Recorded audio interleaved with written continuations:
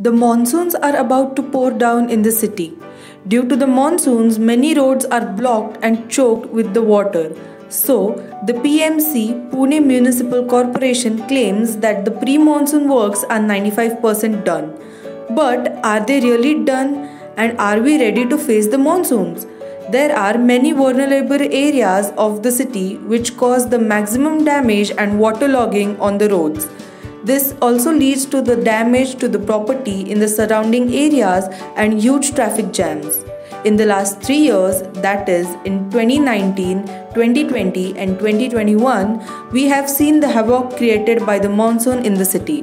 In 2019, the Ambil Odha had overflowed, which caused huge damage to many lives and properties, especially in the Sahakar Nagar area.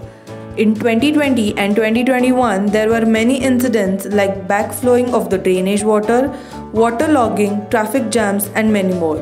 The PMC is only focusing on the widening of Ambil Odha stretch, whereas there are many vulnerable areas that needs to be developed for the prevention of monsoon havoc, says the citizens. The debris and waste are thrown near and in the canals and nalas, which creates obstruction for the monsoon water to flow.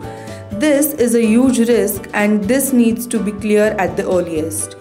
Residents of the model colony area are also worried as the storm water line of the area is not yet clean. One of the residents also claimed that he appointed a private contractor to clean the stormwater line but if the other lines from the areas aren't cleaned by the PMC, there is no use of it.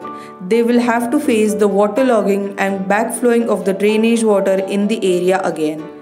Santosh Tandale, the head of drainage department of PMC, said, We are taking the right measures to clean the debris and waste dumped in and near the nalas and canals.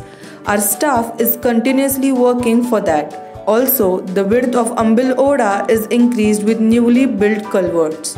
Now, it will be important to see whether PMC looks after the unnoticed and vulnerable areas of the cities which might create a havoc in the city during the monsoons or they will just claim that the pre-monsoon works were done on time.